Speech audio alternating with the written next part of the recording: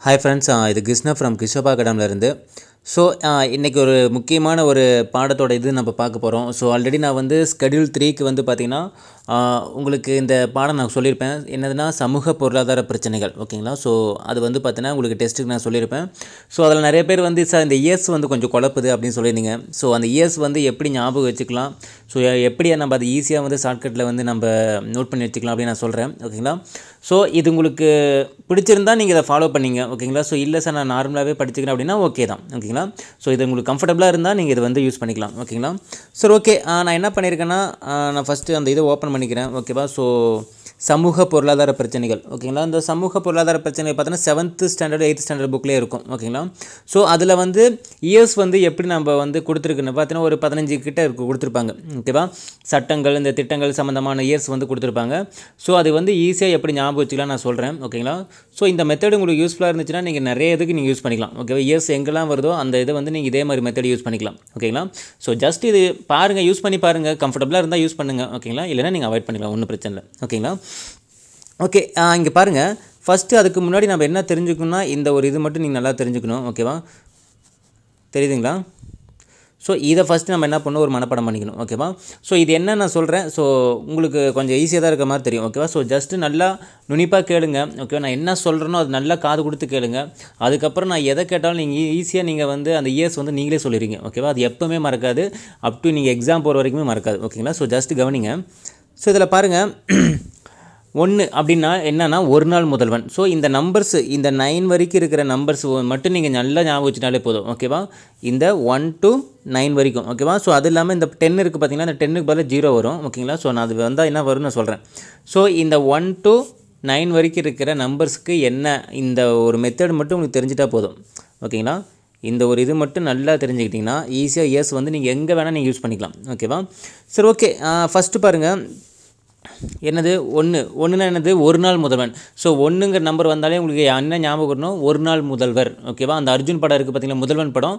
அந்த ஒரு நாள் முதல்வனோ இல்லை அர்ஜுனோ இவங்க தான் ஞாபகம் வரணும். ஓகேவா ஒன்று நம்பர் வந்தாலே ஒன்று ஒரு நாள் முதல்வர் இல்லைன்னா அர்ஜுன். இவங்கள தான் ஞாபகம் வரணும். ஓகேவா அடுத்து பார்த்தீங்கன்னா ரெண்டு. ஓகேவா ஸோ ரெண்டுங்கிறது நீங்கள் என்ன ஞாபகம் வரணும் அப்படின்னு பார்த்தீங்கன்னா ஹஸ்பண்ட் ஒய்ஃப் ஸோ ரெண்டு பேர் இருக்காங்கன்னா என்ன அர்த்தம்? ஹஸ்பண்ட் ஒய்ஃப் மட்டும்தான் ரெண்டு பேர் இருப்பாங்க. ஓகேங்களா ஸோ ரெண்டு நாளே என்ன ஞாபகம் வரணும்? ஹஸ்பண்டும் ஒய்ஃபும் அப்போ ரெண்டு பேர் அப்போ ரெண்டுங்கிறது ஞாபகம் வரணும்.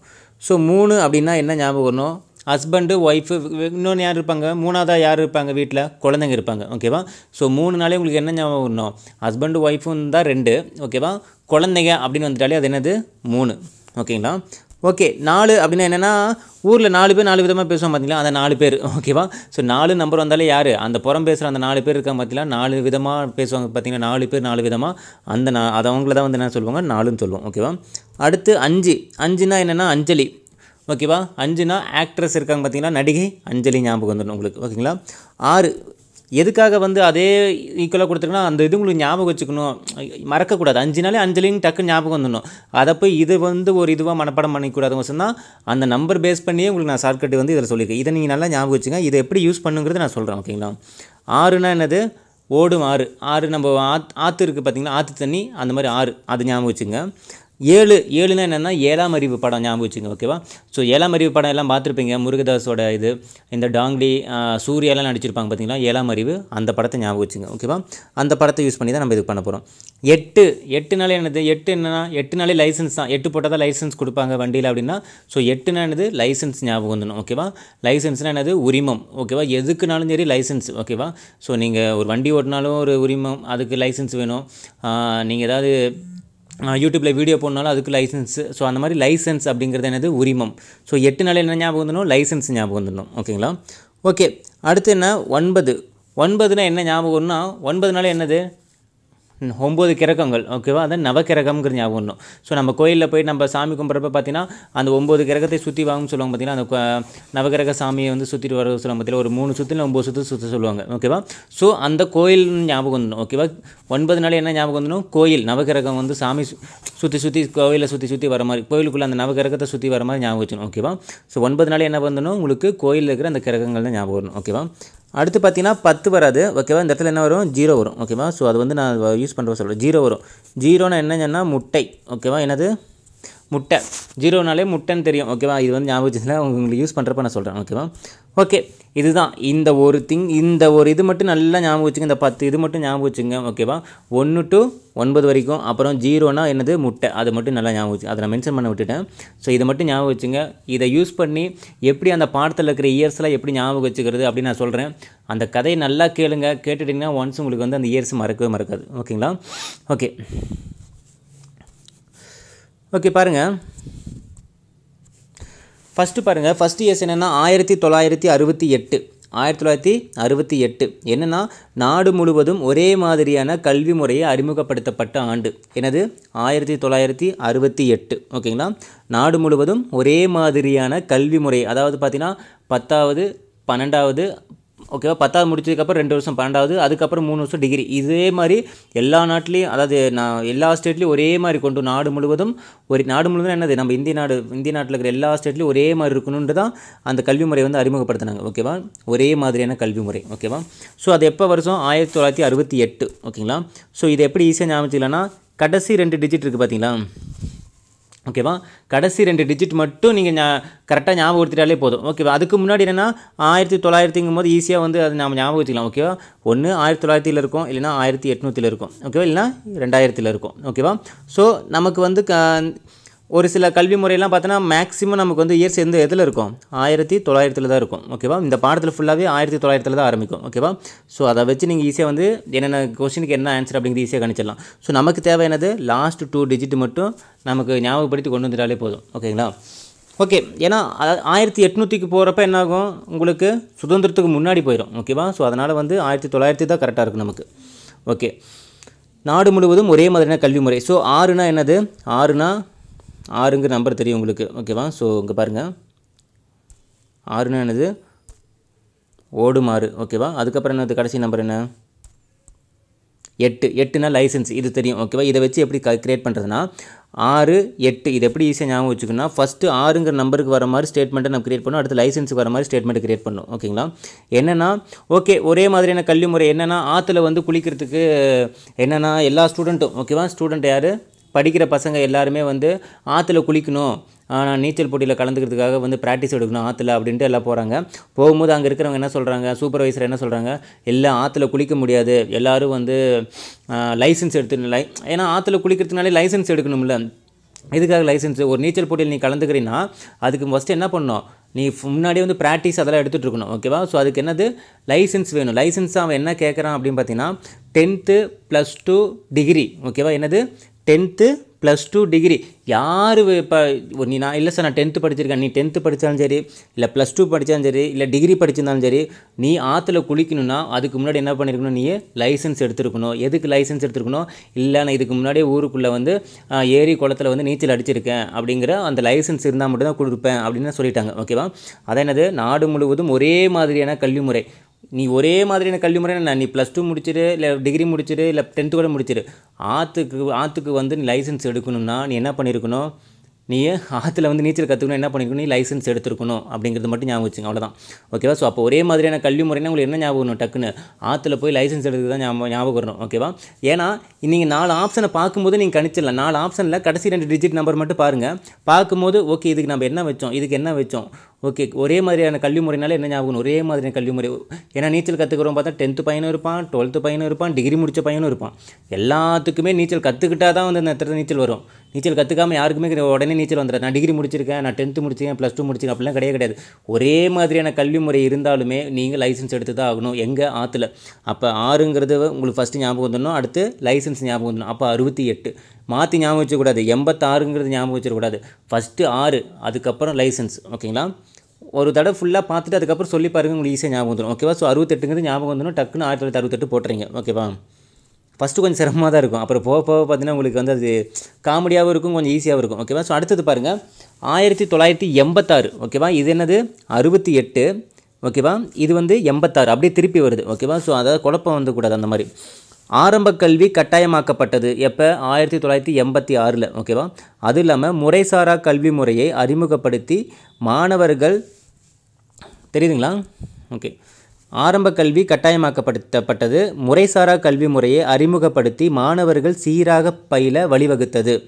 எப்போ? ஆயிரத்தி தொள்ளாயிரத்தி எண்பத்தி எட்டு. ஸோ எண்பத்தி எட்டுனா என்னது? ஃபஸ்ட்டு எடுத்ததுமே லைசன்ஸ் வரும். அதுக்கப்புறம் தான் ஆறு வரும். ஆனால் போனதில் என்ன வந்துச்சு? ஃபஸ்ட்டு ஆறு அதுக்கப்புறம் தான் லைசன்ஸ் வந்துச்சு ஓகேவா ஸோ அதுக்கு தகுந்த மாதிரி நம்ம இந்த இடத்துல ஒரு ஸ்டோரி கிரியேட் பண்ணோம் ஓகேவா ஸோ ஆரம்ப கல்வி கட்டாயமாக்கப்பட்டது. அது இல்லாமல் என்னது? முறைசாரா கல்வி முறையை பயன்படுத்தி மாணவர்கள் சீராக பயில வழிவகுத்தது ஓகேவா அந்த திட்டம் இப்போ ஆரம்ப எப்போ ஆயிரத்தி தொள்ளாயிரத்தி எண்பத்தி ஆறில் ஓகேவா ஸோ என்னென்னா நீங்கள் போய் ஒரு லை நீங்கள் போய் ஒரு வண்டிக்கு போய் லைசன்ஸ் போடணும் அப்படின்னா அவன் என்ன சொல்கிறாங்க இல்லை நான் வண்டிக்கு போய் லைசன்ஸ் போடுறேன். எதுக்காக வண்டிக்கு லைசன்ஸ் போடுற ஒரு கிராமம் இருக்குது அந்த கிராமத்தில் பார்த்தீங்கன்னு வச்சிங்களேன் யாருமே படிப்பறிவு இல்லை. ஏன்னா அவங்க பள்ளிக்கூடத்துக்கு போகணுன்னா என்ன போகணும் அவங்க? ஒரு என்ன சொல்கிறது ஒரு ஆற ஆற்றை தாண்டி ரொம்ப தூரம் ஒரு பத்து கிலோமீட்டர் தூரம் வந்து நம்ம அவங்க என்ன போகணும் வண்டியில் வந்து ட்ராவல் பண்ணி தான் அந்த ஸ்கூலுக்கே போகணும் ஓகேவா அதனாலே என்னது அந்த அந்த கிராமத்தில் இருக்கிற யாருமே வந்து என்னது கிராமத்தில் இருக்கிற யாருமே வந்து ஸ்கூலுக்கு போகலை. ஆரம்ப பள்ளி அதாவது என்னது ஆரம்ப கல்வி கூட இல்லை அதாவது ஒன்றாவது அந்த பால்வாடி ஸ்கூலில் கூட யாருமே படித்த அந்த அறிவு இல்லை. ஏன்னா உங்களுக்கு பார்த்தீங்கன்னா பத்து கிலோமீட்டர் வந்து இருக்குது அது இல்லாமல் ஒரு ஆர்த்தை தாண்டியும் வந்து அவங்க ஸ்கூலுக்கு போய் ஆகணும் அதனால் பிள்ளைங்களை யாருமே வந்து அனுப்புறதில்ல. அதனால் என்ன பண்ணுறாங்க அவங்க ஃபஸ்ட்டு லைசன்ஸ் ஓகேவா? என்னது? ஃபஸ்ட்டு லைசன்ஸ் எடுக்கிறதுக்கு சொல்லி கொடுத்தாங்க ஓகேவா? என்னது? லைசன்ஸ் எடுக்க சொல்லி கொடுத்தாங்க. எதுக்காக லைசன்ஸு ஏன்னா லைசன்ஸ் எடுக்கிறதுனா தான் என்ன பண்ணுது? வண்டி ஓட்ட அவங்களுக்கு டூ வீலரோ இல்லை ஃபோர் டூ ஃபோர் வீலரில் கிடையாது டூ வீலர் ஓகேவா? பைக் ஓட்ட ஃபஸ்ட்டு கற்றுக் கொடுத்தாங்க. லைசன்ஸ் எடுக்க கற்றுக் கொடுத்தாங்க. அதுக்கப்புறம் ஆற்றுல எப்படி வந்து நீச்சல் அடிச்சுட்டு போகணும் அப்படின்னு கற்றுக் கொடுத்தாங்க ஓகேவா? ஸோ அப்படி கற்றுக் கொடுத்து என்ன பண்ணாங்க? ஆரம்ப கல்வியை வந்து கட்டாயமாக்குனாங்க. யார்? நம்ம இந்திய அரசு ஓகேவா? ஸோ உங்களுக்கு ஆரம்ப கல்வி நான் கொடுக்குறேன். நீங்கள் ஃபஸ்ட்டு என்ன பண்ணுங்கள் ஃபஸ்ட்டு லைசன்ஸ் எடுங்க. ஏன்னா டூ ரொம்ப தூரம் உங்களுக்கு ஸ்கூல் இருக்கிறதுனால ஃபஸ்ட்டு லைசன்ஸ் எடுங்க அதுக்கப்புறம் ஆற்றுல வந்து ப்ராக்டிஸ் பண்ணுங்கள் நீச்சல் ப்ராக்டிஸ் பண்ணுங்கள் ஈஸியாக வந்து நீங்கள் என்ன பண்ணிடலாம்? நீங்கள் வந்து ஆரம்ப கல்வி பண்ணிக்கலாம் அப்படின்ட்டு ஆரம்ப கல்வியை கட்டாயமாக்குனாங்க. ஸோ ஆரம்ப கல்வி கட்டாயமாக்குனாலே எங்களுக்கு என்ன ஞாபகம் வரணும்? ஆற்றுல சாரி ஃபஸ்ட்டு என்ன வரணும்? லைசன்ஸ் வண்டி டூ வீலர் இருந்தால் தான் டூ வீலர் போய் ஒரு ஏழு கிலோமீட்டர் போனதுக்கப்புறம் ஆறு மூணு கிலோமீட்டர் ஆற்றுல மூணு கிலோமீட்டர் ட்ராவல் பண்ணோம் அப்போ அதுக்கப்புறம் தான் என்னது? ஆத் ஆறுங்கிறது ஞாபகம் வரணும் ஓகேவா so first two wheeler licence எடுக்கணும் அதுக்கப்புறம் ஆற்றுல ட்ராவல் பண்ணணும் ஓகேவா ஆற்றுல அதுக்கு உண்டானது நம்ம வந்து நீச்சல் கற்றுக்கணும் ஓகேவா ஸோ அப்போ டூ வீலர் லைசன்ஸ்னால் லைசன்ஸ்னால் என்னது? எட்டு. ஆற்றுல போகிறது எனது ஆறு. அப்போ எண்பத்தாறு. ஆயிரத்தி தொள்ளாயிரத்தி எண்பத்தி ஆறு. எதுக்கு? ஆரம்ப கல்வியை கட்டாயமாக்குறதுக்கு ஓகேவா ஸோ அந்த ஆரம்ப கல்வி கட்டாயம்னாலே உங்களுக்கு டக்குன்னு அந்த கதை ஞாபகம் வந்துடும் ஓகேவா முறைசாரா கல்வி முறையை அறிமுகப்படுத்தி மாணவர்கள் சீராக பயில வழிவகுத்தது. மு- இது வந்து முறைசாரா கல்வி தான் என்ன முறைசாரா கல்வினா என்ன? நீங்கள் கட்டாயமாக ஓகேவா? கட்டாயமாக இந்த ஃபெசிலிட்டிலாம் பண்ணி கொடுத்து கட்டாயமாக படிக்க வைக்கிறாங்க. அது ஒரு முறையை சாராத ஓகேவா? இதெல்லாம் முறை இல்லைப்பா இப்படிலாம் பண்ணாதப்பா. பரவாயில்ல கல்விக்காக என்ன வேணால் பண்ணலாம். உங்களுக்கு லைசன்ஸும் கற்றுக் கொடுக்குறேன் நீச்சலும் கற்றுக் கொடுக்குறேன். வந்து படிங்கடா அப்படின்ட்டு வந்து நம்ம இந்திய நாட்டு தலைவர்கள்லாம் சொல்கிற மாதிரி ஞாபகம் வச்சுக்கோ. முறைசாரா கல்வி இதெல்லாம் ஒரு முறையே கிடையாது. இருந்தாலும் அவங்க கல்வி கற்றுக்கிறதுக்கு நம்ம நீச்சல் கற்றுக் கொடுத்தாலும் சரி இல்லை வண்டி ஓட்ட கற்றுக் கொடுத்தாலும் சரி. அவங்க பள்ளி போய் பயின்று கொஞ்சம் வந்து புத்திசாலியாக இருந்தால் போதும். அந்த கிராம கிராம மக்கள். ஓகேங்களா ஸோ அவ்வளோதான் புரிஞ்சுங்களா? ஆயிரத்தி தொள்ளாயிரத்தி எண்பத்தாறு. அடுத்தது பாருங்கள் ஆயிரத்தி தொள்ளாயிரத்தி தொண்ணூற்றி ரெண்டு. எனது ஆயிரத்தி தொள்ளாயிரத்தி தொண்ணூற்றி ரெண்டு. கரும்பலகை திட்டம். கரும்பலகை திட்டம் வந்து அறிமுகப்படுத்தப்பட்டது. இதில் என்னென்னா பள்ளிகளுக்கு அடிப்படை வசதிகள் செய்து தர வழிவகுத்தது. எனது அடிப்படை வசதிகள் செய்து தர வழிவகுத்தது. ஸோ இந்த இடத்துல நான் மென்ஷன் பண்ண மறந்துட்டேன். பாருங்கள் ஒன்பது அப்படின்னாலே உங்களுக்கு என்ன வரும்? நவகிரகம் ஓகேவா கோயில் ஞாபகம் வந்துடணும். ஓகேவா அடுத்தது ரெண்டுனா என்ன வரும் உங்களுக்கு? ஹஸ்பண்ட் ஒய்ஃபு ஓகேவா ஸோ ஒன்பதுனா என்னது? நவகிரகம் ரெண்டுனா என்னது? ஹஸ்பண்ட் ஒய்ஃபு ஸோ இது எப்படி ஈஸியாக ஞாபகம் வச்சுக்கலாம்னா கரும்பலகை திட்டம். கரும்பலகைனா என்னது? போர்டு பிளாக் போர்டு ஓகேவா ஸோ நீங்கள் கோயில் கோயிலாக போய் சுற்றி யார்? ஹஸ்பண்ட் ஒய்ஃபு ஓகேவா ஹஸ்பண்ட் ஒய்ஃப் என்ன பண்ணாங்க? ஒரு கோயிலில் வந்து சுற்றிக்கிட்டே இருந்தாங்களாம் ஓகேவா அந்த நவகிரகத்தை வந்து நூறு சுற்று சுற்றிட்டு இருந்தாங்களாம். எல்லோரும் ஒம்பது சுற்று சுற்றுவாங்க நூறு சுற்று சுற்றிட்டு இருந்தாங்களாம். நான் போய் கேட்டேன் ஏமா அந்த அளவு இப்படி சுற்றுறீங்க இல்லை இல்லை அந்த ஹஸ்பண்டும் ஒய்ஃபு ரெண்டு பேரும் என்ன சொன்னாங்கன்னா இல்லை என் பையன் வந்து நல்லா படிக்கணும் ஓகேவா அவங்களுக்கு வந்து பெரிய பெரிய ஸ்டேட் லெவலில் மார்க் வாங்கணும். அவங்களுக்குன்னு நம்ம வந்து இப்போ அடிப்படை வசதியெல்லாம் செஞ்சு கொடுக்கணும் வீடு கட்டி தரணும். அவங்க அது அந்த அளவுக்கு அவங்க படிக்க வச்சா தான் அந்த அளவுக்கு பண்ண முடியும் அப்படின்ட்டு ரொம்ப ஃபீல் பண்ணி பேசிகிட்டு இருந்தாங்க. என் பசங்க வந்து ரொம்ப தத்தியாக இருக்கிறாங்க அப்படின்ட்டு. நான் சொன்னேன் ஃபஸ்ட்டு பசங்களுக்கு வந்து ஃபோனு கேமு இதெல்லாம் வந்து தூக்கி போட்டுட்டு ஓகேவா லேப்டாப்பு இதெல்லாம் கொடுக்காம ஒரு ஸ்லேடு பென்சில் வாங்கி கொடுங்க ஓகேவா அந்த ஸ்லேடு பென்சிலோ இல்லை வீட்டில் சின்னதாக ஒரு பிளாக் போர்டோ வாங்கி கொடுங்க. அதில் வந்து எழுதிட்டு இருப்பாங்க. அவங்க ஆட்டோமேட்டிக்காக வந்து ப்ரா அவங்களுக்கு இன்ட்ரெஸ்ட் ஃபுல்லாகவே எதில் போயிடும் அந்த பிளாக் போர்டில் போய் போயிடும். அதில் உட்காந்து ஓபியம் வரைகிறது இல்லை ஏதாவது எழுதிட்டு இருக்குது ஏபிசிடி எழுதுறது. ஸோ இந்த மாதிரியான திங்கிங் வந்துடும் ஃபஸ்ட்டு அதை பண்ணுங்கம்மா அப்படின்னு நான் சொன்னேன் ஓகேவா ஸோ இந்த கதையை ஞாபகம் வச்சுங்க. ஸோ என்னென்னா கரும்பலகை திட்டம். கரும்பலகை திட்டனாலே உங்களுக்கு என்ன ஞாபகம் வரணும்?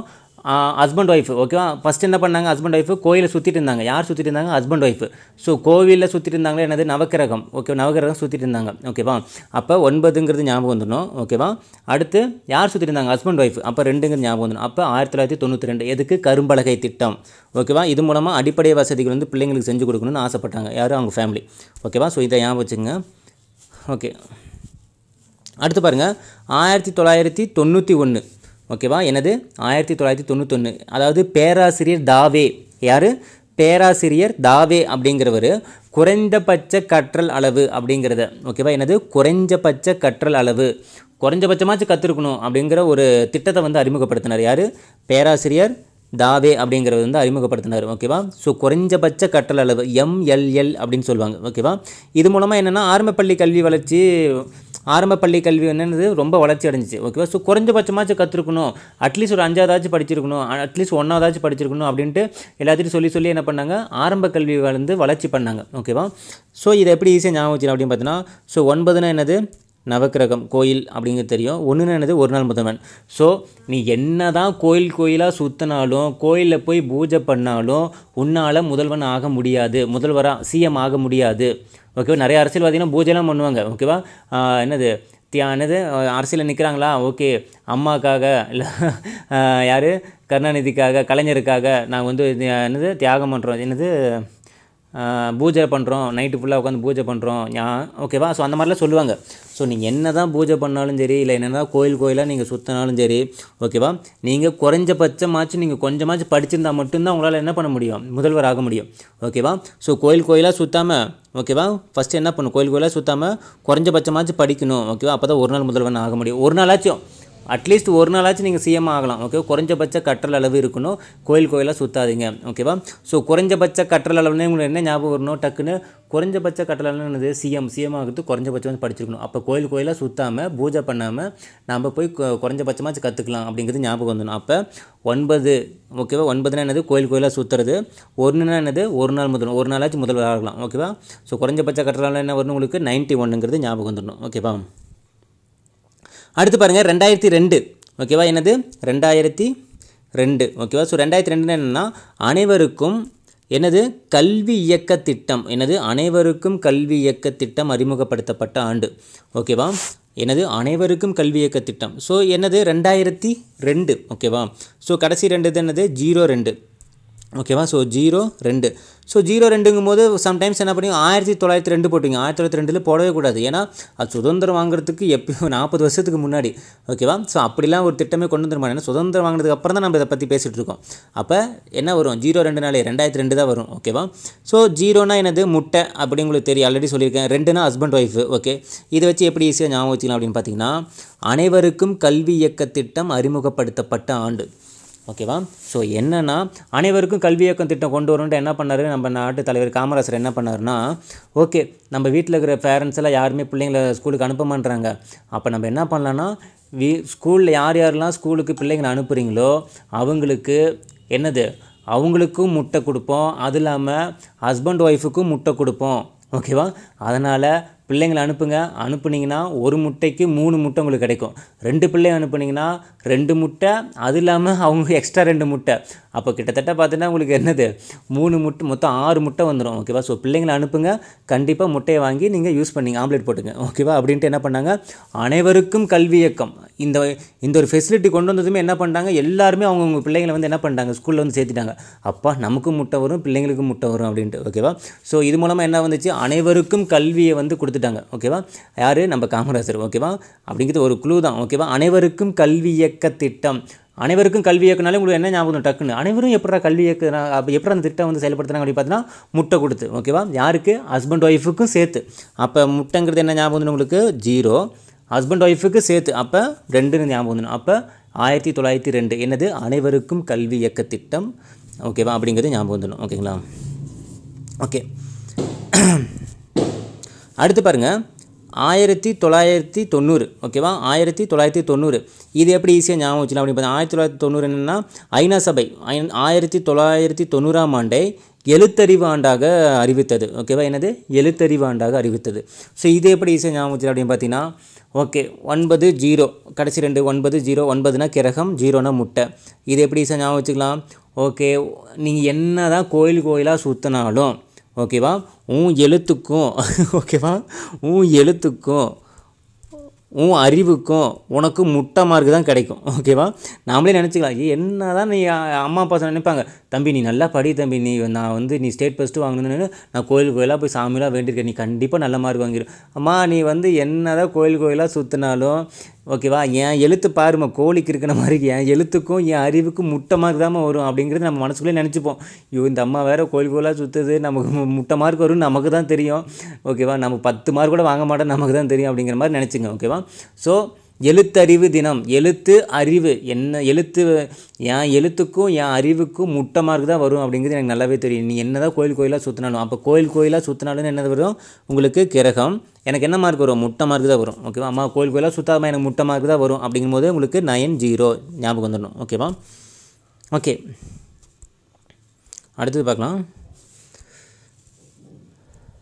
இங்கே பாருங்கள் ஆயிரத்தி தொள்ளாயிரத்தி நாற்பத்தி ஒன்பது குழந்தைகள் பணி சட்டம். எனது குழந்தைகள் பணிச்சட்டம் ஓகேவா ஸோ குழந்தைங்க வந்து பார்த்தீங்கன்னா பதினாலு வயசுக்கு கம்மி இருக்கிற குழந்தைங்க. எத்தனை? பதினாலு வயசுக்கு கம்மி இருக்கிற குழந்தைங்க. பணி புரியக்கூடாது ஓகேவா ஸோ அதுக்கு வந்து தடை விதிச்சிருக்காங்க. ஸோ ப ஒரு ஒரு குழந்தைய வந்து நீங்கள் வேலைக்கு அனுப்புனா அவனுக்கு வந்து குறைஞ்சபட்சம் வந்து பதினாலு வயசை தாண்டி தான் இருக்கணும் ஓகேவா அதான் குழந்தைகள் பணிபுரிய பதினாலு வயது நிரம்பி இருக்க வேண்டும். பதினாலு வயசு இருந்தால் மட்டும்தான் அனுப்ப முடியும். அதுக்கு முன்னாடி வந்து அனுப்பக்கூடாது. அப்படிங்கிறத சட்டம் கொண்டு வந்தாங்க. அது பேர் வந்து குழந்தைகள் பணி சட்டம். எப்போ? ஆயிரத்தி தொள்ளாயிரத்தி நாற்பத்தி ஒன்பது ஓகேவா ஸோ நாலு பேர் கிரகம். இது எப்படி ஈஸியாக ஞாபகம் வச்சுருக்கோம் அப்படின்னு பார்த்தீங்கன்னா ஓகேவா? ஒரு பண்ணைய பண்ணையார் இருக்க- இருக்கான் பார்த்தீங்களா ஸோ பண்ணையார் வந்து என்னது? ஏ நம்ம கிராமத்தில் இருக்க கிராமத்தில் வந்து ஏன்டா நம்ம வேலைக்கு ஆளே கிடைக்க மாட்டேது அப்படின்னு பண்ணையார் வந்து கணக்கு பிள்ளைகிட்ட கேட்குறாரு கணக்குல வந்து என்ன சொல்கிறாங்க இல்லைங்கய்யா பதினாலு வயசு வந்து தாண்டி இருந்தால் தாங்க நம்ம வந்து குழந்தைங்களை வந்து வேலைக்கு வைக்க முடியும் அப்படின்ட்டு சட்டம் போட்டிருக்காங்க ஏன்னா யார் யா போட்டது? நம்ம காமராசர் தாங்கய்யா போட்டிருக்காங்கன்னு. யோ அதெல்லாம் பார்த்துக்கலாம் போய் வீட்டில் போயிட்டு அவங்க பேரண்ட்ஸ்கிட்ட போய் கன்வின்ஸ் பண்ணி நீ ஃபஸ்ட்டு குழந்தைங்கள அந்த பிள்ளைங்களாம் கூட்டு வந்து வேலை வாங்க வை அப்படின்னு. ஓகேன்ட்டு கணக்கு பிள்ளை வீட்டுக்கு வராரு. வீட்டுக்கு வந்துட்டு அம்மா அப்பா கிட்ட சொல்கிறாரு இங்கே பாருமா நீ இவ்வளோ கடன் வாங்கியிருக்க. உன் பத்திரம்லாம் எங்ககிட்ட தான் இருக்குது ஓகேவா? ஒழுங்காக பிள்ளையை அனுப்பு. இல்லைன்னு வச்சுக்க நான் என்ன பண்ணுவேன்? ஆட்டோமேட்டிக்காக அந்த பத்திரத்தை வச்சுட்டு உனக்கு நிலத்தை எதுவுமே கொடுக்க மாட்டேன் அப்படின்ட்டு அவங்க அம்மா அப்பா மிரட்டுறாங்க. அவங்களும் போ சரி என்னடா பண்ணுறது அப்படின்ட்டு பிள்ளையை வந்து அனுப்பிடுறாங்க வேலைக்கு. ஓகேவா? ஸோ அந்த நாலு பேர் நாலு விதமாக ஓகேவா? அது அந்த ப கணக்கு பிள்ளையோட கூட யார் வராங்க? அந்த நாலு பேர் வராங்க. ஓகேவா நாலு பேர்னா இந்த இடத்துல வந்து அடியாளுங்க ஞாபகம் வச்சுங்க. ஓகேவா? அடியாளை கூட்டு வந்து மிரட்டுறது ஞாபகம் வச்சுங்க. ஓகேவா? ஸோ அந்த நாலு பேர் வராங்க. வந்து என்ன பண்ணுறாங்க அம்மா அப்பாட்ட சொல்கிறாங்க அவங்க அம்மா அப்பாவும் அமுச்சு விட்டுட்டு என்னடா பண்ணுறது அப்படின்ட்டு கோயிலில் போய் உட்காந்து ரொம்ப ஃபீல் பண்ணிகிட்ருக்காங்க இருக்காங்க. ஓகேவா கோயிலில் போய் சுற்றி கோயில் கோயிலாக சுற்றி ரொம்ப ஃபீல் பண்ணுறாங்க ஐயோ என் பிள்ளை வந்து படிக்கணும்னு ஆசைப்பட்டேனே. காமராசர் நல்ல திட்டம் கொண்டு வந்தார். ஆனால் என் பிள்ளைங்களை வந்து இந்த பண்ணையார்கிட்ட வந்து நான் வித்துட்டேனே. கடன் வாங்கி நான் வித்துட்டேனே. அப்படின்னு ரொம்ப வந்து கோயில் கோயிலாக சுற்றி ரொம்ப ஃபீல் பண்ணுறாங்க ஓகேவா ஸோ குழந்தைகள் பணி சட்டம் அப்படின்னாலே உங்களுக்கு என்ன ஞாபகம் வரணும்? இந்த கதை ஞாபகம் வந்துடணும் ஓகேவா இந்த கதையில் என்னது? நாலு பேர் நா நாலு பேர் வராங்க. யார்? அந்த அடியாளங்களோட அந்த கணக்குள்ள வராரு. வந்துட்டு அவங்க அம்மா அப்பா கன்வின்ஸ் பண்ணி கூப்பிட்டு போயிறாரு அவங்க அந்த அம்மா அப்பா என்ன பண்ணுறாங்க கோயிலில் வந்துட்டு கோயில் கோயிலாக சுற்றி பாவம் மன்னிப்பு கேட்டுக்கிறாங்க. ஐயோ என்னால் தானே என் நான் கடை வாங்கினால தானே என் பிள்ளைங்க வந்து போய் கொத்தடிமையாக வேலை செய்யுது அப்படிங்கிற மாதிரி. ஸோ கிரகம் அப்படிங்கிறது ஞாபகம் தரணும் ஓகேவா குழந்தைகள் பணி சட்டம்.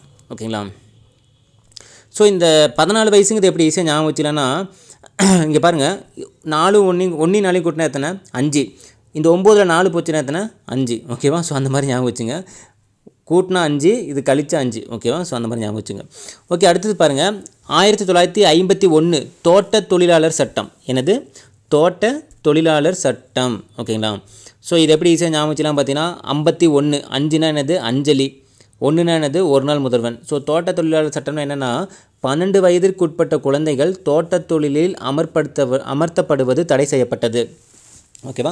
ஸோ பன்னெண்டு வயசுக்கு கம்மியாக இருக்கிற குழந்தைங்கள தோட்ட தொழிலுக்கு வந்து யூஸ் பண்ணக்கூடாது ஓகேவா அவங்கள வந்து அந்த வேலைக்கு வந்து அனுப்பக்கூடாது அப்படின்ட்டு ஒரு சட்டம் வந்து அமல்படுத்தினாங்க ஓகேவா எப்போ? ஆயிரத்தி தொள்ளாயிரத்தி ஐம்பத்தொன்று ஸோ அவன் அஞ்சுனா என்னது? அஞ்சலி.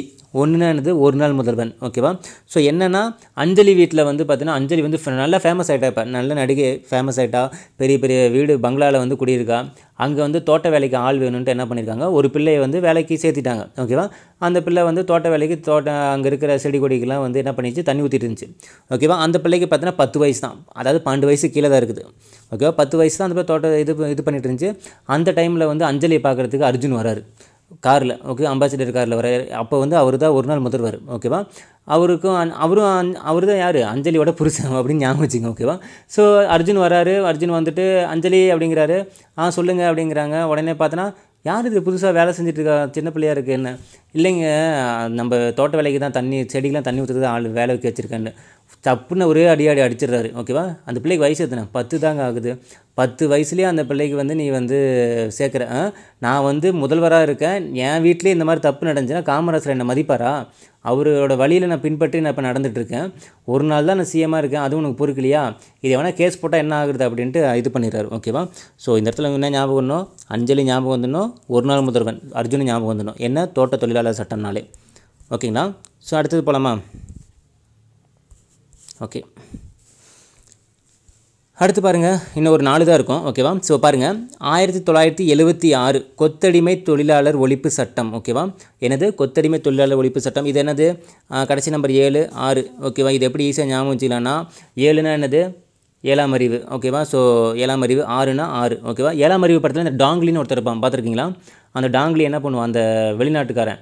அவன் அப்படியே கண்ணுலேயே மயக்கி என்ன பண்ணுவான்? அவங்கள வந்து அவன் என்ன சொ நினைக்கிறானோ அதே மாதிரி அவங்க வந்து அவங்களே துப்பாக்கி எடுத்து சுட்டுப்பாங்க. ஓகேவா ஸோ அந்த ஏழாம் அறிவு படம் பார்த்தவங்களுக்கு நல்லாவே தெரிஞ்சிருக்கும். ஓகேவா அந்த டாங்லி கண்ணிலே வந்து மயக்கிடுவான் ஓகேவா கண்ணிலே மயக்கினானா அவன் என்ன நினைக்கிறானோ அதை வந்து அவங்களே செஞ்சுப்பாங்க. ஓகேவா ஸோ என்னென்னா அவன் என்ன பண்ணுறான்னா கொத்தடிமை தொழிலாளர் சட்டம். ஸோ வே ஊருக்குள்ளே வேலை செஞ்சுட்டு என்ன பண்ணுறாங்க அந்த கண்ணிலே மயக்கி என்ன பண்ணி போகிறான் அவன் எல்லாத்தையும் ஒரு ஆயிரம் பேர்த்த கூட்டிகிட்டு போயிடுறான். யார்? இந்த டாங்லிங்கிறவன் ஓகேவா எங்கே கூட்டிகிட்டு போகிறான் அவன் வந்து ஒரு ஆற்றுக்கு பாலம் கட்டணும் அப்படின்ட்டு என்ன பண்ணுறான் ஆயிரம் தொழிலாளர்களை வந்து கண்ணிலே மயக்கி கூட்டிகிட்டு போய் அவங்கள ஆற்றுல இறங்கி வேலை செய்ய வைக்கிறான். ஓகேவா பாலம் கட்டுறதுக்காக. ஓகேவா ஆனால் ஆற்றுல வந்து அவ்வளோ தண்ணி வேகமாக போகுது. அதுலேயே வந்து என்ன பண்ணால் பாலம் கட்டுறதுக்கு அவங்களெல்லாம் வந்து மயக்கி கூட்டு போயிடுறான். ஓகேவா அதில் எத்தனையோ அடிச்சு போனால் என்ன? உயிர் போனால் போனால் போயிட்டு போகுதுன்ட்டு. ஏன்னா யார் காசு கொடுத்தா வரமான்றாங்க ஏன்னா தண்ணி அடிச்சிட்டு போயிடும் அப்படின்ட்டு. அதனால் என்ன பண்ணுறான் அந்த டாங்கிலி கண்ணிலே மயக்கி அவங்களை கூட்டு போய் வேலை வாங்கி வச்சிடறான். கொத்தடிமையை வச்சிடறான் வேலைக்கு. ஓகேவா ஸோ கொத்தடிமை தொழிலாளர் சட்டனாலே உங்களுக்கு என்ன ஞாபகம் வரணும்? இந்த டாங்கிலையும் ஞாபகம் வரணும். ஆறுங்கிறது ஞாபகம் வரணும். ஓகேவா ஸோ அந்த ஆப்ஷன் நான் இது வந்து இன்னைக்கு சாரி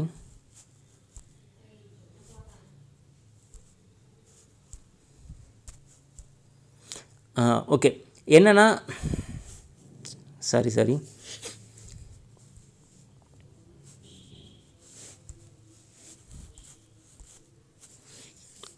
ஓகே. என்னென்னா இந்த இடத்துல வந்து நான் நான் நீங்கள் வந்து எப்படி சார் டக்குன்னு நம்மளுக்கு வந்து டாங்லிங்கிறது ஞாபகம் வரும் அப்படின்னு கேட்டிங்கன்னா நீங்கள் நாலு ஆப்ஷனை பார்ப்பீங்களா நாலு ஆப்ஷனை கடைசி ரெண்டு இதை நீங்கள் பார்க்கும்போது இதுக்கு இதுக்கு என்ன மேட்ச் ஆகுது அப்படின்னு பார்த்தாலே உங்களுக்கு டக்குன்னு ஞாபகம் வந்துடும் ஓகேவா அது இல்லாமல் கொஞ்சம் யோசிச்சாலே ஞாபகம் வந்துடும் ஓகேங்களா அந்த கதையை. ஸோ கொத்தடிமைனாலே உங்களுக்கு என்ன வரும் கொத்தடிமையாக அப்போ தொழிலாளர்கள் வந்து ஆற்றுல அந்த டாங்லிங்கிறவன் ஆற்றுக்கு போய் வேலை செய்கிறதுக்காக கூட்டு போகிறான் அப்போ டாங்லிங்கும் போது உங்களுக்கு ஏழாம் பிரிவு ஞாபகம் ஞாபகம் வந்துடணும். ஆற்றுல வேலை செய்கிறதுக்கு என்ன வரும்? உங்களுக்கு ஆறுங்கிறது ஞாபகம் வந்துடும் ஓகேவா அப்போ எத்தனை? எழுபத்தி ஆறு ஓகேங்களா அடுத்து பாருங்கள் சாரதா சட்டம் ஓகேவா என்னது? சாரதா சட்டம். எத்தனை? ஆயிரத்தி தொள்ளாயிரத்தி இருபத்தி ஒன்பது. ஓகேவா? ஸோ சாரதா அப்படின்னாலே என்ன ஒன்று உங்களுக்கு? சாரதானாலே ஒரு ஹவுஸ் ஒய்ஃப்னு ஞாபகம் வச்சுங்களேன். ஓகேவா? ஏன்னா ஒரே ஒரு கேர்ள் நேம் தான் வருது. சாரதா அப்படின்னாலே ஹவுஸ் ஒய்ஃப் ஓகேவா? ஸோ சாரதாங்கிற அந்த பொண்ணு என்னது? ஒரு ஹவுஸ் ஒய்ஃபு ஓகேவா? அந்த பொண்ணு கோயில் கோயிலாக சுற்றிக்கிட்டே இருக்கும். ஏன்னா டிஎன்பிசியில் பாஸ் பண்ணணும். டிஎன்பிசியில் பாஸ் பண்ணணுன்ட்டு எந்த பொண்ணு? சாரதாங்கிற பொண்ணு. ஓகேங்களா? ஸோ சாரதா சட்டம் அப்படின்னாலே உங்களுக்கு என்ன ஞாபகம் வரணும் உங்களுக்கு? ஹஸ்பண்ட் ஒய்ஃப் தான் ஞாபகம் வரணும். ஒய்ஃப்னா என்னது உங்களுக்கு? ஹஸ்பண்ட் ஒய்ஃப் அப்போ நம்பர் டூங்கிறது ஞாபகம் வந்துடணும் கோயில் கோயிலாக அந்த பொண்ணு சுற்றிட்டு எதுக்காக? டிஎன்பிசியில் பாஸ் பண்ணணும் பாஸ் பண்ணணுன்ட்டு வசரம் ஓகேவா அப்போ ஒன்பதுங்கிறது ஞாபகம் வந்துடும் ஒன்பதுல என்னது? கரகம் கோயில். ஓகேவா ஸோ அப்போ எத்தனை? இருபத்தி ஒன்பது. ஓகேங்களா அடுத்து எத்தனை? இந்து வாரிசுரிமை சட்டம். என்னது? இந்து வாரிசுரிமை சட்டம். ஓகேவா எத்தனை? நம்ம ஆயிரத்தி தொள்ளாயிரத்தி ஐம்பத்தி ஆறு. ஓகேவா ஸோ ஐம்பத்தாறுன்னு அஞ்சுன்னு என்னது? ஸோ அஞ்சுனா அஞ்சலி ஓகேவா அஞ்சுனா அஞ்சலி ஆறுனா ஆறு ஓகேவா இது எப்படி? இந்து வாரிசுரிமை சட்டம் அப்படின்னா என்னென்னா பெண்களுக்கும் ஆண்களுக்கும் பார்த்து சரி சொத்தில் சொத்துல பார்த்தீங்கன்னா பெண்களுக்கு சம பங்கு இருக்குது அப்படிங்கிறதுக்காக தான் என்னது? இந்து வாரிசுரிமை சட்டம் அப்படிங்கிறது ஓகேவா பெண்களுக்கும் சொத்துல வந்து சம பங்கு இருக்குது அப்படிங்கிறத சொல்கிறதான் ஸோ இது எப்படி ஈஸியாக ஞாபகம் வச்சுக்கலாம்? அஞ்சுனா அஞ்சலி. ஸோ அஞ்சலி என்ன பண்ணுறான்னா கேஸ் ஒன்று போடுறா. ஓகேவா என்னது? ஏன்னா அர்ஜுன் வந்து பார்த்தீங்கன்னா ஒரு நாள் முதல்ல இருந்துட்டு என்ன பண்ணுறாரு இறந்துடுறாரு. ஸோ அஞ்சலி தனியாக இருக்காங்க. சொத்து எல்லாமே போச்சு. ஏன்னா அந்த முதல்வராக இருந்து ஊழல் பண்ணி தான் அவ்வளோ காசு வந்துச்சுன்னு சொத்து எல்லாமே போச்சு.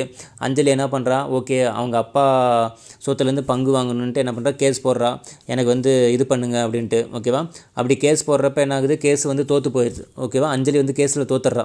ஓகேவா உங்களுக்கு சம பங்கு இல்லைம்மா நீங்கள் போயிடுங்க. அப்படின்ட்டு சொல்லிடுறாங்க.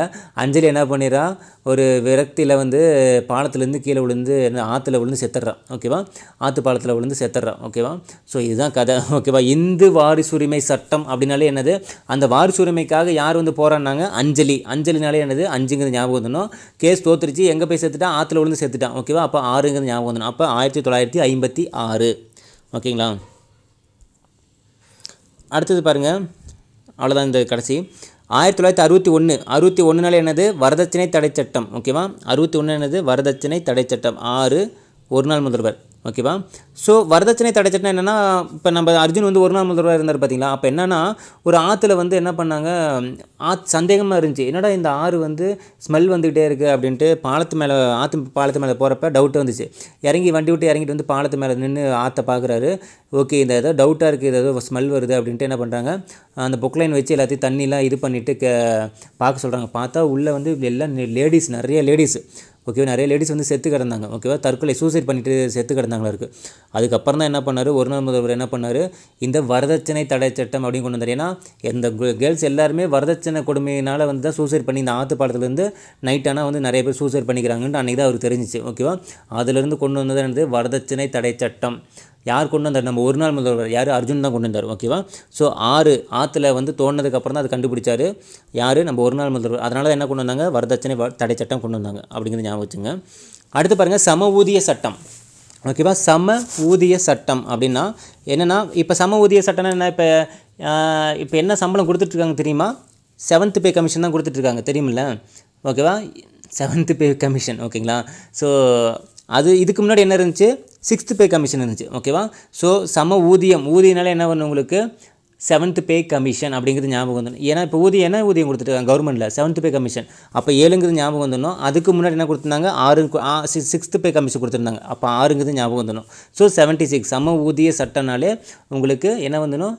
ஏழு ஆறு அப்படிங்கிறது ஞாபகம் வரும் ஸோ இப்போ கொடுக்கறது இதுக்கு முன்னாடி கொடுத்தது. ஓகேவா அப்போ எழுபத்தி ஆறு. ஓகேங்களா அடுத்து பாருங்கள் தொட்டில் குழந்தை திட்டம். ஓகேவா தொட்டில் குழந்தை திட்டம்னா என்னது? ஆயிரத்தி தொள்ளாயிரத்தி தொண்ணூற்றி ரெண்டு. ஓகேவா ஸோ ஒம்போதுனா கிரகம் ரெண்டுனா ஹஸ்பண்ட் ஒய்ஃப் ஓகேவா ஸோ இது எப்படி ஈஸியாக ஞாபகம் வச்சுக்கலாம் அப்படின்னு பார்த்தீங்கன்னா நீங்கள் என்ன தான் கோயில் கோயிலாக சுற்றினாலும் ஓகேவா நீங்கள் என்ன தான் கோயில் கோயிலாக சுற்றினாலும் அதையும் தாண்டி உங்களுக்கு குழந்தை பிறக்கலையா? ஓகேவா நீங்கள் என்ன பண்ணுறீங்க ஏதாவது வந்து பார்த்தீங்கன்னா அனாதாசிரமத்தில் தொட்டிலில் வந்து குழந்தைய போட்டிருப்பாங்க யாராவது ஓகேவா அந்த தொட்டிலில் இருக்கிற குழந்தைய எடுத்துகிட்டு நீங்கள் வளர்த்துங்க ஓகேவா ஏன்னா நம்ம குழந்தை இல்லை அப்படிங்கிற பட்சத்தில் நம்ம வந்து என்னென்னமோ செயற்கை முறையில் வந்து என்னென்னமோ பண்ணி குழந்தை இது பண்ணுறதுக்கு நம்ம என்ன பண்ணலாம்? அழகாக வந்து தொட்டில் குழந்தை ஒரு தொட்டிலில் ஒரு குழந்தை இருந்துச்சுன்னா அதை எடுத்துகிட்டு வந்து நம்ம வளர்த்தலாம் அனாதை குழந்தை குழந்தைய வந்து நம்ம எடுத்துகிட்டு வந்து வளர்த்தோம்னா அதுக்கு நம்ம வாழ்க்கை கொடுத்த மாதிரி ஆகிடும் ஓகேவா ஸோ தொட்டில் குழந்தை திட்டனாலே உங்களுக்கு என்ன ஞாபகம் வரணும் உங்களுக்கு கோயில் கோயிலாக சுற்றி உங்களுக்கு குழந்தை பிறக்கலைன்னா.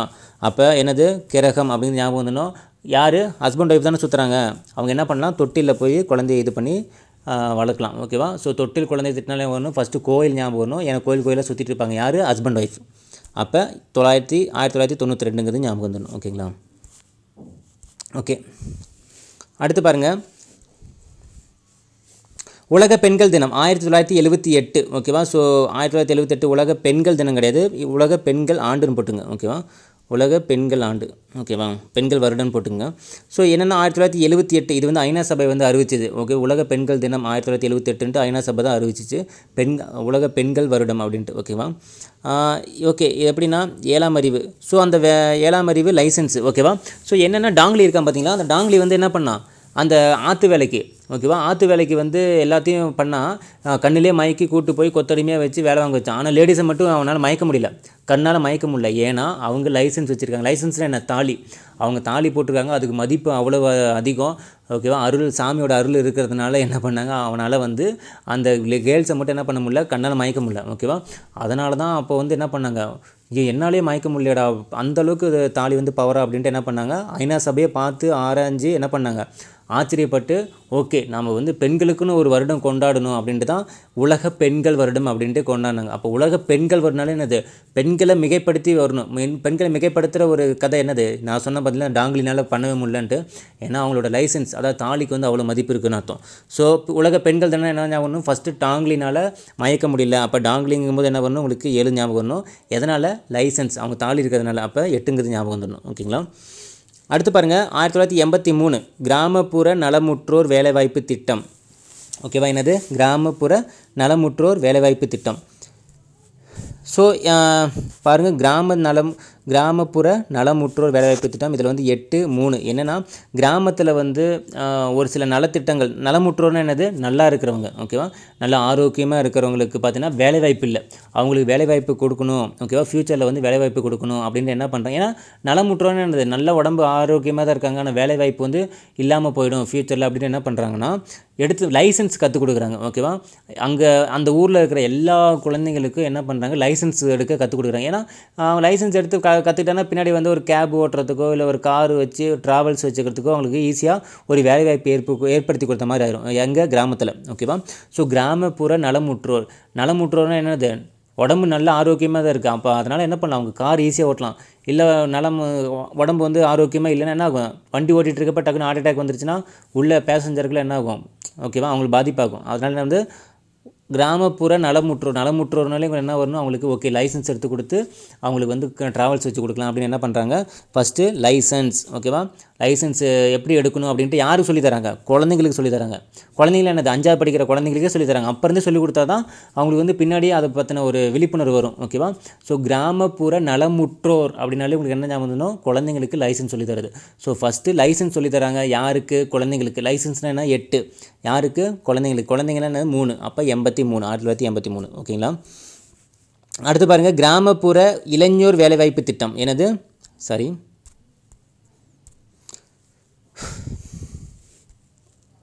கிராமப்புற இளைஞர் இளைஞர் வேலைவாய்ப்பு திட்டம். ஸோ குழந்தைங்களுக்கு ஓகே இளைஞர்களுக்கு என்ன வேலைவாய்ப்பு திட்டம் அப்படின்னு பார்த்தீங்கன்னா கிராமப்புறத்தில் அதுவே ஏழாம் அறிவு அதுக்கப்புறம் கிரகம் ஓகேவா ஸோ ஏழாம் அறிவுனா என்னது? டாங்லி டாங்லி நல்லாவே தெரியும் ஓகேவா அதுக்கப்புறம் என்னது? கிரகம் ஓகேவா ஸோ டாங்லி என்ன பண்ணுறான் ஓகே அந்த க- என்னது கார வேலை செஞ்சவங்க அந்த தொழிலாளர்கள்லாம் என்ன பண்ணால் கூட்டு போய் பாலத்தில் வேலை செய்ய விட்டான். இளைஞர்கள் அந்த ஊரில் இருக்கிற கிராமத்தில் இருக்கிற இளைஞர்கள் என்ன பண்ணால் அந்த டாங்கிலி வந்து கண்ணிலே மயக்கி எங்கே கூட்டு போயிட்டான்? ஒரு கோயில் ஓகேவா என்ன? அந்த சீனா. அவன் வந்து சீனா தான். டாங்லிங்கிற சீனா தானே? அந்த டாங்லி என்ன பண்ணுறான் இளைஞர்கள் எல்லாத்தையும் கண்ணில் மயக்கி அந்த சீனாவில் கூட்டு போய் சீனாவில் ஒரு கோயில் இருக்குது பெரிய பிரம்மாண்டமான கோயில் ஓகேவா அந்த கோயிலில் போய் அந்த கோயிலில் இருக்கிற எல்லாத்தையும் வந்து பெயிண்ட் அடிக்கிறது ஓகேவா சுத்தம் பண்ணுறது அந்த வேலைக்கு எல்லாத்தையும் வச்சுக்கிட்டான். ஓகேவா நான் உங்களுக்கு வேலை வாங்கி தரேன் அப்படின்ட்டு அங்கே கூட்டு போய் எல்லா இளைஞர்களையும் வேலை வாங்க வாங்குன்னு வாங்கிட்டான் ஓகேவா அதான் என்னது? கிராமப்புற இளைஞர் வேலைவாய்ப்பு திட்டம். அந்த இளைஞர்கள் ஏன்னா இளைஞர்கள் தான் என்ன பண்ணுது? ஏணி வச்சு ஏறி கரெக்டாக வந்து பெயிண்ட் அடிப்பாங்க. ஓகேவா பெரிய ஆளுங்கள்லாம் வந்து கூட்டு போய் பண்ண முடியாது. அதனால் என்ன பண்ணாங்க பெரிய ஆளுங்களாம் கூட்டு போய் ஆற்றுல வந்து என்ன பண்ணிட்டான் வேலை வாங்க வச்சுட்டான். ஓகே பாலத்துக்கு அடியில் வந்து பாலம் கட்டுறதுக்கு. இளைஞர்கள்லாம் கூட்டு வந்து என்ன பண்ணிட்டான்? இந்த வேலை வாங்க வச்சுட்டான். ஓகேவா எதில்? கோயிலில் வந்து இது பண்ணுறதுக்கு ஸோ யார்? டாங்லி. ஓகேவா ஸோ டாங்லி என்ன பண்ணால் இளைஞர்கள் எல்லாத்தையும் கூப்பிட்டு வந்துட்டு கோயிலில் வந்து என்ன பண்ணால் பெயிண்ட் அடிக்கிறது இந்த ஒரு சில சில்லற வேலையெல்லாம் செய்ய வச்சுட்டான். ஓகேவா கிராமப்புற இளைஞர் வேலைவாய்ப்பு திட்டம். ஓகேவா இது என்னது? கிராமத்தில் இருக்கிற இளைஞர்களை வேலை வாங்க வச்சுட்டான். அதான் வேலைவாய்ப்பு திட்டம். ஓகேங்களா அடுத்து பாருங்கள் தேசிய கிராமப்புற வேலைவாய்ப்பு திட்டம். ஓகேவா ஸோ என்னது? தேசிய கிராமப்புற வேலைவாய்ப்பு திட்டம். ஸோ இது என்னென்னா தேசிய லெவலில் தேசியம் என்னது? நம்ம இந்தியாவுக்குள்ளே இந்தியாவுக்குள்ளே எப்படி? இது வந்து என்னது? நேஷ்னல் லெவலில் அதான் வெறுமே வெறுமனா இருக்குது. ஓகேவா? கிராமப்புற வேலைவாய்ப்பு இதில் வந்து தேசிய அப்படிங்கிற வார்த்தை இருக்காது. ஓகேவா? அந்த தேடுதலில் பாருங்கள் தேசிய அப்படிங்கிற வார்த்தையே இருக்காது. அதனால தான் இந்த இடத்துல டாங்லி வராரு. ஆனால் இந்த இடத்துல என்ன இருக்கும்? தேசியன்னு இருக்கும். தேசியன்னு இருந்தாலே என்ன அர்த்தம்? நம்ம இந்தியாவுக்குள்ளே ஓகேவா? அது பாருங்கள் லைசன்ஸு முட்டை. ஓகேவா? எத்தனை? ஆயிரத்தி தொள்ளாயிரத்தி எண்பது. என்னென்னா இளைஞர்களுக்கு என்ன பண்ணாங்கன்னா லைசன்ஸ் எடுத்து கொடுத்துட்டாங்க. ஓகேவா? லைசன்ஸ் எடுத்து கொடுத்துட்டு ஓகேவா? அதுக்கப்புறம் லைசன்ஸோட என்ன கொடுத்துட்ருக்காங்க கிராமப்புற வேலைவாய்ப்பு திட்டம் இந்த கிராமத்தில் இருக்க எல்லாத்துக்குமே ஓகேவா இல்லை ஏன்னா சும்மா வந்து லைசன்ஸ் எடுத்துக்கங்க. உங்களுக்கு வந்து நாங்கள் வந்து கார் ஓட்டத்தை க கற்றுத்தரோம் அப்படின்னா யாருமே வரல ஓகேவா அதனால் என்ன பண்ணாங்க? தேசியன்னா என்னது? நம்ம இந்தியா ஓகேவா இந்திய பிரதமர் என்ன பண்ணார்? ஓகே யார் யாரெல்லாம் வந்து லைசன்ஸ் எடுத்துக்கிறீங்களோ அவங்களுக்கு ஒரு முட்டை கொடுக்கப்படும் ஓகேவா அந்த முட்டையை வச்சுட்டு நீங்கள் என்ன பண்ணிக்கலாம் நீங்கள் பிஸ்னஸ் பெருக்கிக்கலாம் அப்படின்னு என்ன பண்ணுறாங்க அப்பா முட்டை வருதா? ஏன்னா ஆம்லேட் பிரியர்கள் நிறைய பேர் இருப்பாங்க ஓகேவா அப்பா முட்டை வருதா? இதுக்காகவே நம்ம லைசன்ஸ் எடுத்துக்கலான்ட்டு என்ன பண்ணுறாங்க அவங்கள லைசன்ஸ் எடுக்க வச்சு அது மூலமாக தொழிற்கல்வி வந்து மேம்படுத்தினாங்க நம்ம இந்திய நாட்டில். யார்? பிரதமர் ஓகேவா அப்படிங்கிறத ஞாபகம் வச்சுங்க. நம்ம நேரு நேரு வந்து இந்த மாதிரி பண்ணார். ஸோ தேசிய கிராமப்புற வேலைவாய்ப்பு திட்டம். அப்போ தேசியன்னு உங்களுக்கு டக்குன்னு நம்ம இந்தியாவுக்கு ஞாபகம் வந்துடணும் இந்தியாவில் கிராமப்புறத்தில் வேலைவாய்ப்பு திட்டத்தை அதிக அதிகப்படுத்தணும் என்ன பண்ணாங்க? இளைஞர்களை வந்து லைசன்ஸ் எடுக்க வச்சாங்க. ஓகேவா லைசன்ஸ் எடுக்க வச்சு லைசன்ஸ் எடுக்காதவங்கள முட் ஓகே முட்டை ஃப்ரீயாக ஏன்னா ஃப்ரீனாலே வந்து எடுப்பாங்களா? ஸோ முட்டை ஃப்ரீயாக கொடுக்குறதுன்னு எல்லாருமே வந்து லைசன்ஸ் எடுக்க ஆரம்பிச்சிட்டாங்க. ஓகேவா அப்போ தேசிய அப்படின்னாலே என்ன ஞாபகம் வந்துடும் உங்களுக்கு? தேசிய கிராமப்புற வேலைவாய்ப்பு திட்டம் அப்படின்னாலே முட்டை ஞாபகம் வந்துடணும் அதுக்கப்புறம் லைசன்ஸ் ஞாபகம் வந்துடணும் அப்போ எண்பது. லைசன்ஸ்னால் எட்டு முட்டைனா ஜீரோ ஓகேவா அந்த மாதிரி ஞாபகம் வச்சுங்க. அடுத்தது பாருங்கள் ஆயிரத்தி தொள்ளாயிரத்தி கடைசி ஆயிரத்தி தொள்ளாயிரத்தி எண்பத்தி ஒன்பது. ஸோ எண்பத்தொம்போதுனா என்னது? ஜவஹர் யோஜனா. என்னது? ஜவஹர் யோஜனா. ஓகேவா ஜவஹர் ரோஜ்கர் யோஜனா. ஓகேவா இது என்னென்னா ஜேஆர்ஒய் அப்படின்னு சொல்லுவாங்க. ஜவஹர் ரோஜ்கர் யோஜனா. ஸோ இந்த திட்டத்தை வந்து பார்த்திங்கன்னா எட்டு ஆயிரத்தி தொள்ளாயிரத்தி எண்பத்தொம்போது ஓகேவா ஸோ எட்டுனா லைசன்ஸு ஒன்பதுனா கிரகம். ஸோ இந்த எட்டுங்கிற லைசன்ஸ் எப்படி ஈஸியாக ஞாபகம் வச்சுக்கலாம்? ஒன்பது கிரகம் எப்படி ஞாபகம் வச்சுலாம்னா ஓகே எட்டு. ஜவஹர்லால் நேரு இருக்கார் பார்த்தீங்களா? ஸோ ஜவஹர்னா என்னது? ஜவஹர்லால் நேரு. ஓகேவா ரோஜானா என்னது? ரோஜா. ஓகேவா ஸோ ஜவஹர்லால் நேரு நேரு என்ன பண்ணார்? அவரோட சட்டையில் ரோஜா ஒன்று வச்சுருப்பார். பார்த்துருக்கீங்களா?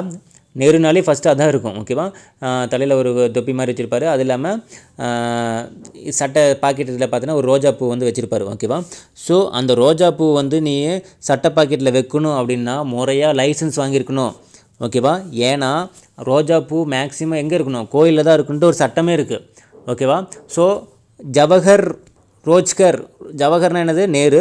ரோஜ்கர்னா என்னது? ரோஜா. ரோஜா பூ வச்சுருக்குன்னா என்ன பண்ணணும்?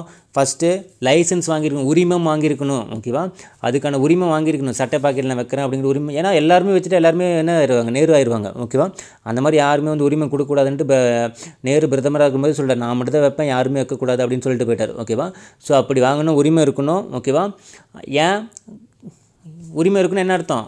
அங்கே வைக்கக்கூடாது. எங்கே வைக்கணும்? அப்போ எங்கே தான் வைக்கணும் அப்படின்னு மக்கள் கேட்குறப்ப கோயிலில் மட்டும்தான் ரோஜாப்பூ இருக்கணும் ஓகேவா அப்படி நீ வைக்கணும் நீ ஃபஸ்ட்டு உரிமை வாங்கியிருக்கணும் ஓகேவா ஸோ ஃபஸ்ட் என்னது? உரிமை வாங்கிக்கோ அதுக்கப்புறம் நீ வச்சுக்கோ அப்படிங்கிறது தான். அப்போ உரிமை வாங்கணும் ஓகேவா அப்படி இல்லை அப்படின்னா பூ எங்கே இருக்கணும் அப்படின்னு கேட்டால் கோயிலில் தான் இருக்கணும் ஓகேவா ஸோ இது என்னது? ஜவஹர் ரோஜ்கர் யோஜனா.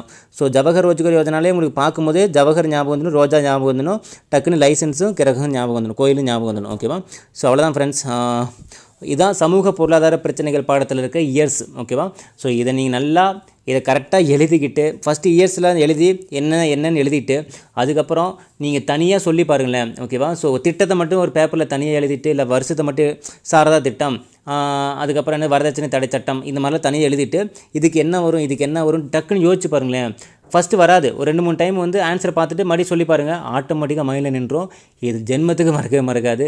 எப்படி இருந்தாலும் இதை வந்து இது என்னடா போய் இதுக்கு அப்படிங்கிற மாதிரி நினச்சிங்கன்னா கண்டிப்பாக எக்ஸாமில் உட்காந்து இந்த கதை நீங்கள் யோசிச்சு பார்ப்பீங்க. ஐயோ என்னமோ சொன்னாரே. நம்ம அதுக்கு சரியாக கவனிக்கலையே அப்படின்னு அந்த ஒரு சின்ன குழு வச்சு நீங்கள் யோசிப்பீங்க. ஓகேவா? யோசிக்கிறப்ப இது கண்டிப்பாக உங்களுக்கு கை கொடுக்கும். ஓகேவா? ஸோ சொல்லுவாங்கல்ல அந்த ஒரு காமெடியில் டபான்னு இதை திறந்து பாருப்பா இது உனக்கு கை கொடுக்கும் அப்படிங்கிற மாதிரி. ஸோ கண்டிப்பாக இந்த ஷார்ட்கட் உங்களுக்கு ஞாபகம் கை கொடுக்கும். நீங்கள் வேறு என்ன ஒரு சப்ஜெக்ட்டுக்கு நீங்கள் கிரியேட் பண்ணாலும் இதை பேஸ் பண்ணி கிரியேட் பண்ணி பாருங்கள் ரொம்ப யூஸ்ஃபுல்லாக இருக்கும் ரொம்ப கஷ்டப்பட்டு படிக்கணும் அவசியம் கிடையாது. ஓகேங்களா? ஸோ இது உங்களுக்கு பிடிச்சிருந்துச்சுன்னா பாருங்கள் ஓகேவா? நீங்கள் ஃபாலோ பண்ணிக்கலாம். பிடிக்கலையா? ஓகே நீங்கள் உங்கள் மெத்தடில் நீங்கள் படிச்சுக்கலாம். ஓகேங்களா? தேங்க்யூ